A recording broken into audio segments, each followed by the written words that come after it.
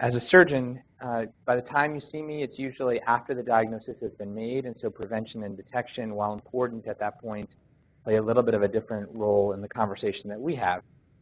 And again, by the time you see me, um, you're um, basically you have been diagnosed with melanoma at some point along the way, and um, as you can imagine, no one really consents to having someone take a knife to them unless there's something desperately wrong. And so by the time we're having a conversation, you're already willing to let me basically put you under anesthesia and cut you, and that's just a weird thing to think about.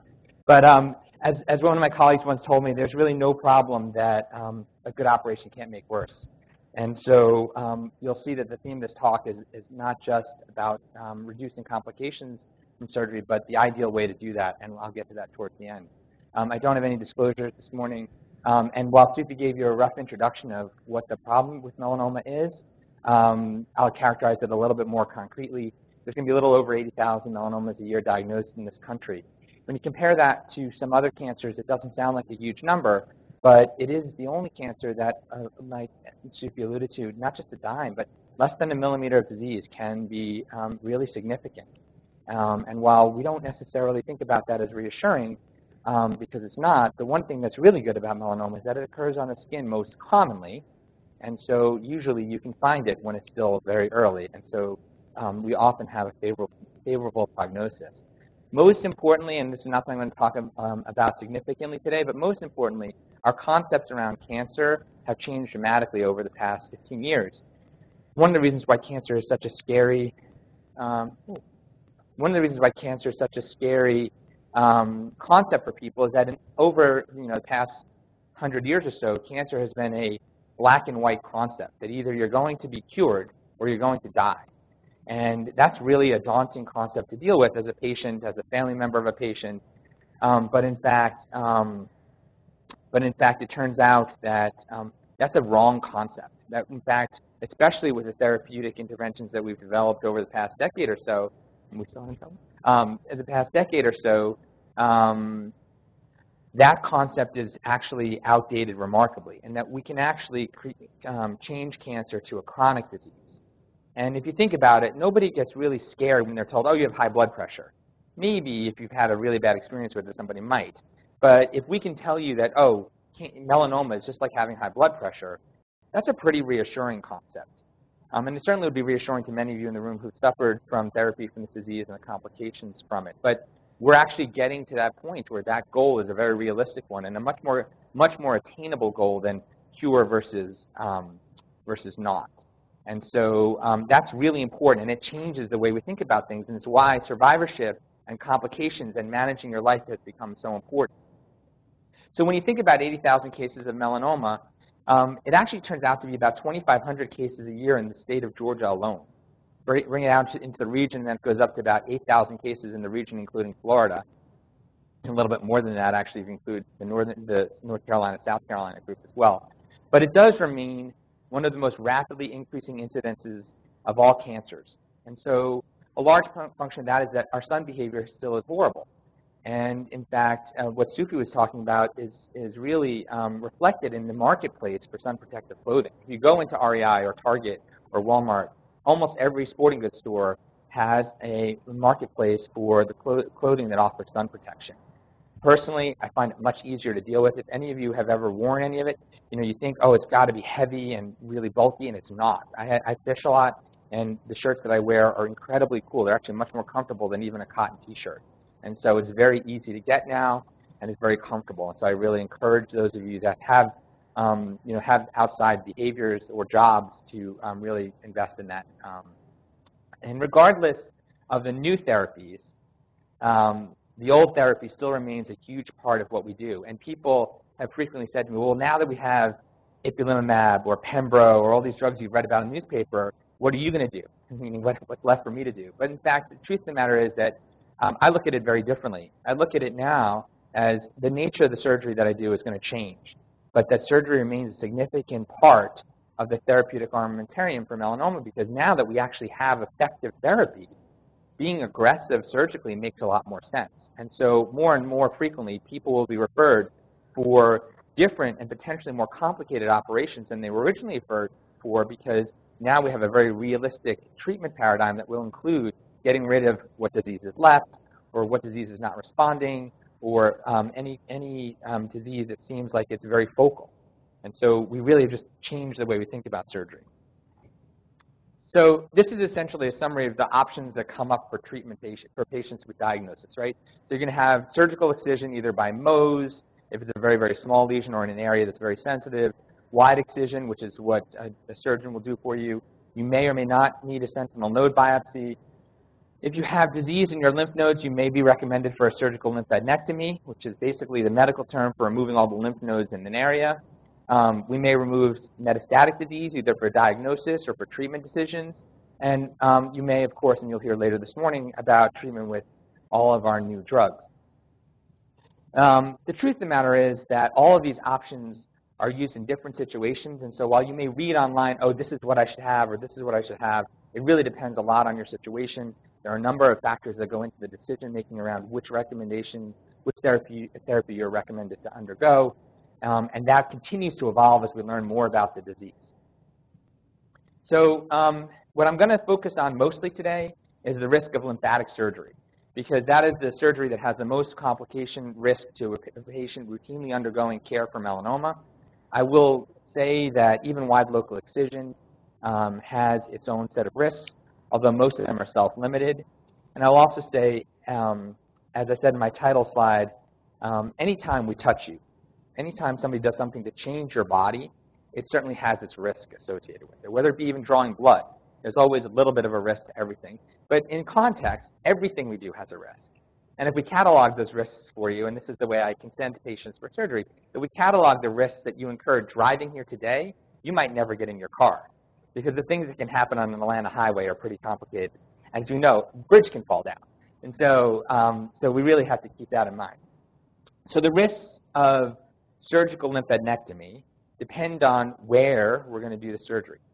Um, there are different parts of your body. In general, we think of the conceptually, we think of three major lymph node basins: your neck, your axilla, which is your underarms, and your groins. And I'm going to talk about those three very relatively um, briefly. So in the neck, you can have injury to a nerve. In the neck, that's the most actually concerning risk as a surgeon because the nerve is very superficial and it's very small. Um, the incidence of that occurring is relatively rare, but it is the nerve, it's called the spinal accessory nerve, it allows you to shrug. So for those of you that know the trapezius muscles, if you are familiar with that, those are the muscles that make, basically make um, um, football players not have a neck. Right? So it's that big triangle that comes out of your, out of your ears sometimes, and that, that's what allows you to shrug. There's more to it, though. If you injure that nerve, the weight that's supported by, your, um, by that muscle is your shoulder and you tend to have shoulder droop, and it actually has a lot of significant side effects. And while after surgery, a lot of patients may have what's called a palsy, which is a temporary injury to the nerve, it's the injury to the nerve completely that is really chronically problematic and debilitating. Um, you can have a leak from the lymphatic system, particularly on the left side of the neck. All of the lymphatic flow in the body in, uh, goes into the internal jugular vein on the left side of your neck. And so when you do a surgical lymphadenectomy in the left side of the neck, there is a significant risk of having a lymphatic leak. What does that mean? In most instances, it stops on its own.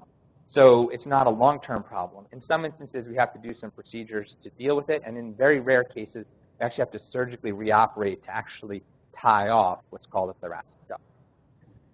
Um, you can have an infection. Nicely in the neck, that's very uncommon because the blood supply to the neck is very um, robust, and so we rarely have those problems. But um, you can have an infection anytime you have a violation of your skin. The skin is, a, um, is the best barrier to infection, and so um, the risk of infection goes up anytime we do any sort of intervention that violates the skin. I do want to take a moment and just take a little sidebar. There's a lot of, a lot of published um, in the lay press, a lot of talk about MRSA, and this tends to freak people out staph infections, strep infections, these flesh-eating bacteria. So everybody in the world has staph and strep on their skin. It's normal body flora.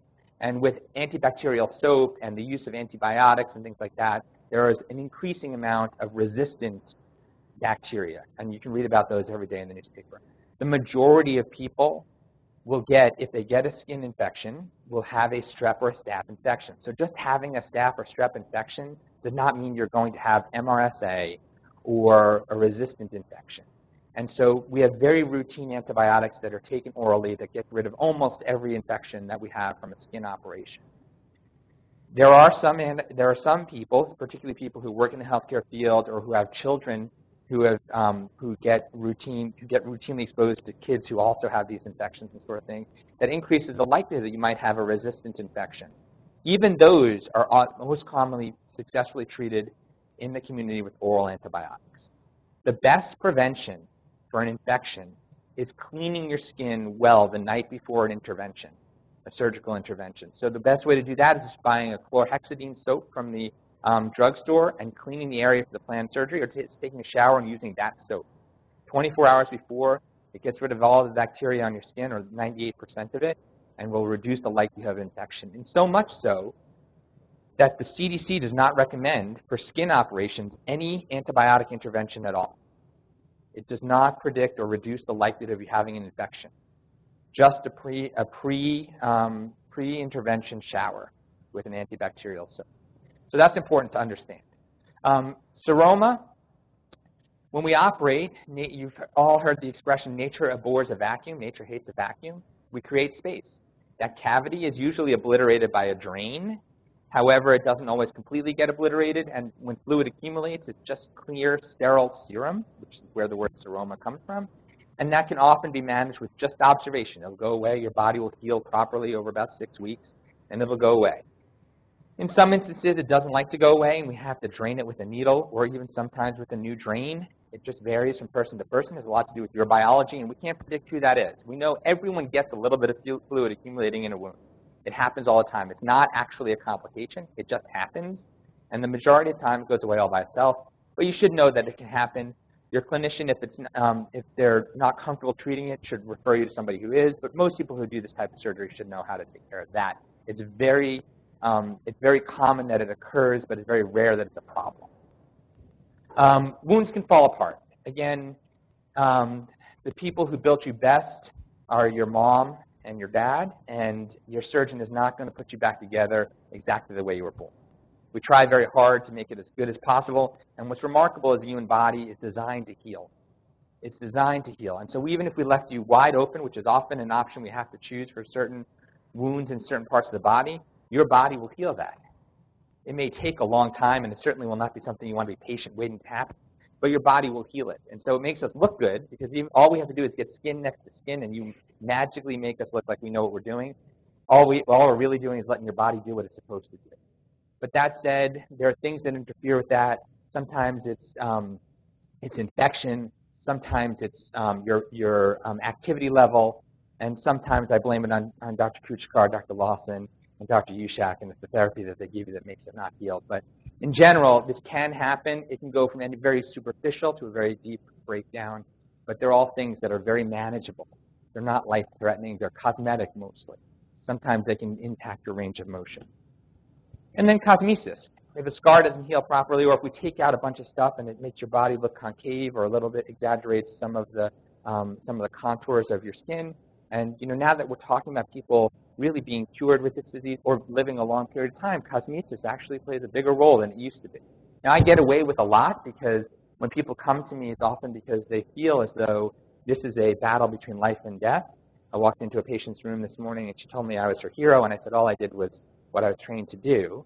Right? But in many ways, that's the way people people give me a pass, meaning you heal in whatever way you heal, and you don't care how you're going to look for a while. But after you've gotten through the acute event of realizing that, okay, I'm past that, then the way you look does matter. And so we do really, as surgeons, try to make you look as good as when we found you. Um, it doesn't always come out as well as we'd like, and so we recognize that. And we have a team of plastic surgeons here who, after you're through the acute therapeutic phase, will be happy to revise scars and that sort of thing if it's appropriate and something you really want to do. So this is the neck. Now I'm going to show you a similar list for the underarm. It's slightly different. I'm going to add one thing to it and that's the axilla, right? So the axilla, same thing. You can injure some nerves. You can have a lymphatic leak. You can have an infection. You can get a seroma, which is actually a little bit more common in the axilla. You can have the wound fall apart, and then you can have um, an axillary web or a frozen shoulder, which means if you don't use your arm after surgery, it'll stiffen up and stay in place, or you'll get a scar and a band underneath your arm. Both of those things can happen. The best way to avoid those is by motion. And then the last thing is you can have lymphedema.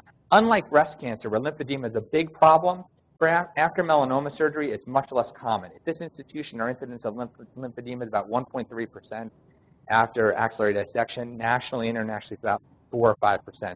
After breast cancer, it's about 20%. The reasons for that are complicated and don't matter for us, but lymphedema is a big problem, and I'm going to touch on that a little bit more in a second, because in the groin, it's much more common. So in the groin, again, you can get a wound infection. It's really common to get a wound infection. You can get the wound falling apart, also common. The groin is a really bad place to have, a, have an operation, and it's a really bad place to have a big open cut. I'm going to talk about that in a second. Um, you can get an infection, like I said. I've said it twice, actually. That's how common it is. Um, you can have a seroma. You can get the flaps of your surgery to fall apart and die because the skin gets thin. Um, and you get lymphedema 20 to 25% of the time. That's a lot. And it's significant when your leg weighs like 5 pounds more than it should, or 10 pounds more than it should. The risk factors for any of these complications, they're actually age, if you're in the very elderly range, above 75. If you smoke, smoking is very bad. If you're overweight, you have an increased risk of complications, particularly in the groin, um, and the amount of disease you have. So if you have big, bulky disease, you may have more complications from surgery, which is why we try to intervene early. Right? This is bad disease. There's nothing that can, that can replace surgery here, um, although nowadays some systemic therapy may. But this is a problem because it's going to bleed and ulcerate and be problematic. Right? But these are different kinds of wound complications. This is a superficial infection. This is a dehiscence. Okay? This is a dehiscence on the left. This is flap necrosis. Oops, that didn't work too well. On the right. So this is where the flap starts to die. Um, and you can see this dark area on the skin. The incidence of lymphedema after cell node biopsy is largely talked about, but after melanoma it's relatively rare. And then these are the numbers that I just started to give you. In the neck, it almost never happens. All right? If you have to have your pelvic lymph nodes removed, it does increase the incidence of lymphedema by a little bit, but not so much above groin. Groin surgery alone is a pretty big risk factor for lymphedema. What does lymphedema look like? This is mild. Okay? This is moderate. And again, it's not the size of the leg, but it's the size of the leg compared to the other leg. So this leg versus this leg, of course. Okay? This is severe. Okay? And that's, that's the spectrum which I can't predict before I do surgery. So when I talk to you about the risk of lymphedema, this is what I'm thinking about in my head. And so what can we do about that? Well, there's first the risk factors, obviously having the pelvic lymph nodes removed as well. If you get an infection after surgery, if you have to have a large segment of skin removed, if you have vascular disease to begin with, if you have a very thick melanoma because we have to take off more skin to treat that, those are all things that increase it. If you have a primary lesion on your extremity, and if you're obese, those are things that give you risk that increase the likelihood of lymphedema. If you have a sedentary lifestyle, that increases the likelihood of you developing lymphedema because we know that activity reduces the incidence of lymphedema. Um, if you can avoid an infection, which is impossible to do except for the fact if you try to, um, you know, like I said, if you can shower before surgery with a chlorhexidine scrub, that would be helpful. Um, if you can minimize the surgical intervention, and I'm going to talk about that in a second, we use radiation sparingly, and um, if you exercise after surgery. So activity after surgery actually reduces the likelihood of lymphedema. Management, um, basically, um, there's a number of different therapeutic interventions. We have a lymphedema therapist here. There's, there are a few lymphedema therapists around the city of Atlanta, and certainly there are several scattered about the state. Um, the Lighthouse Lymphedema Network actually has a, is a good source for um, counseling and support for people with lymphedema and resource allocation for that. Um, mostly is managed by compression garments if it's mild, um, but you can get um, pneumatic and mechanical devices for um, for moderate to severe lymphedema, and there is actually here a plastic surgeon who does um, surgical reconstruction to reduce the incidence of complications after lymphedema therapy. Um, Dr. Angela Cheng is running our surgical lymphedema reconstruction service here. Um, there, the other thing to do, as I mentioned, is minimize surgery. So here at Emory, we created a procedure called a minimally invasive groin dissection, and it basically halves the incidence of complications after surgery in the groin. So if you have a wound it's one, that increases your um, your risks of lymphedema and wound infection, the best thing to do is eliminate that wound. And so we've changed the approach to um, surgical removal of lymph nodes from the groin, and we do it through a scope in most instances. And in fact, you see that there's a remarkable decrease, although um, um, the, the, best way to avoid uh, complications is potentially to not do surgery at all, and we're going to get there in just a moment. This is what happens after an open operation, and this is after a video operation. Um, this is in the same patient. We did one side open for, one, for, a, for a clinical reason, and one side um, minimally invasive. You can see the difference in his recovery from surgery from his right side to his left side. And so that's the best, that's the best comparison picture I can give you. Same patient, bilateral groin surgery. Um, there are sometimes some unexpected complications. This was actually um, a scar from using a warm compress. The patient was numb over the area of the surgery and, and burned themselves by using a warm compress, not realizing that they just burned themselves. So there are some unexpected complications that occur from surgery as well. But like I said, the most effective way to reduce complications from surgery is just don't do the surgery. And so um, while that sounds a little funny, um, I would say to you that we're at a point now where there's a lot of um, opportunity to visit whether we need to do surgery or not. The therapeutic options from our medical oncology colleagues. There are two trials that just got published. I'm not going to get into detail with them because the trial data is not that important, but the bottom line is, actually I will show this. What I want you to see is this up here. Okay, what this is is if you, melanoma-specific survival, the likelihood that you're going to survive without a recurrence of your melanoma, essentially. Okay, whether you have all your lymph nodes removed or you don't have your lymph nodes removed, and everyone in the room can see that they're almost identical. Okay, and and what ultimately that means is that this, in patients with minimal disease detected by sentinel node biopsy, it turns out that if we don't take out all your lymph nodes, we actually may have the same outcome as if we do take out all your lymph nodes. And while this is a very complicated topic that we don't have time to get into this morning, what it basically means is that it's okay to not have all your lymph nodes removed in certain situations. And so these considerations are important and they're individualized, but they are an option for you. And so what I want you to take away from this is basically this. The best way to avoid surgical complications is just not to have the operation. And we now actually have that option.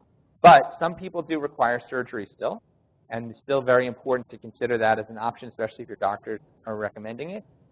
Smoking, obesity, and radiation therapy are probably the three greatest risk factors for complications after surgery if you have to have surgery. But um, uh, if you do have to have surgery in your lymph nodes, it's usually going to be because you have actually a big lymph node that you can feel. And therapeutic lymphadenectomy, that's what that's called, has a higher risk of complications. And so I'm out of time. Um, but if there are any questions, um, I'll be happy to answer them at some point later, or my partner, Dr. Lowe, can also do that too. Thank you, Ruta. Uh, MSLT2, four months ago. Four months ago. Three months ago. Yeah.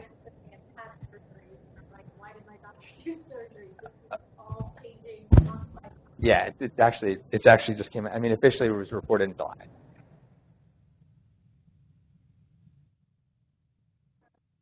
Sure. So, so Dr. Dr. Kudchadkar said um, the study that I just presented, the MSLT2 study, was just published four months ago, actually less than four months ago, and I think about July. Um, and so if you've been recommended to have, if you've had surgery since in, before July of this year, that would be the standard of care until July this year. And even now, the consensus guidelines for recommendations about surgical intervention are based on age, the number of sentinel nodes you have positive, um, the amount of disease in your sentinel nodes. So this does not apply to everyone. It applies to some people. If you're being treated by a melanoma specialist, they will understand this, and they will have this conversation with you. I still recommend surgery in many patients, particularly younger patients, because the follow-up on these trials is relatively limited. And we know that the disease may come back in the nodal basin without affecting the overall survival, but may come back in the nodal basin. That has its own set of concerns. And so age and other factors, the amount of melanoma in your original biopsy, all those things play into it. But it is brand new data. I mean, you're actually getting cutting edge data that's just come out and is just now changing our approach to this disease. Thank you for your time. Thank you.